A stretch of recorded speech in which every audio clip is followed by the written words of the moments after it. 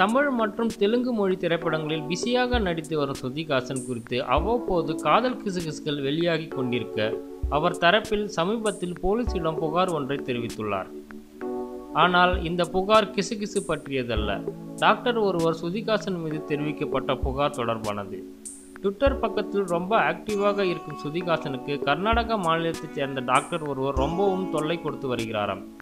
KG Guruprasad என்ற அந்த doctor Suthikasan Twitter பக்கத்தில் கடந்த செப்டம்பர் ஒன்றாம் தேதி முதல் ஆபாசமான பதிவுகளை பதிவு செய்து வரும் அவர் ஆபாசமாக நடிப்பதாகவும் நடிகர்கள் மற்றும் தயாரிப்பாளர்களுடன் உல்லாசமாக இருப்பதாகவும் சுதிகாசன் மீது குற்றம் சாட்டியதோடு அவரை நேரில் சந்தித்தால் கொலை செய்யவும் தயங்க மாட்டேன் என்றும் மிரட்டியுள்ளாராம்.